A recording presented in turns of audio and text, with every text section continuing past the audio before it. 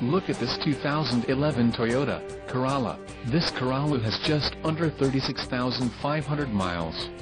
This vehicle gets an estimated 26 miles per gallon in the city, and an estimated 34 on the highway.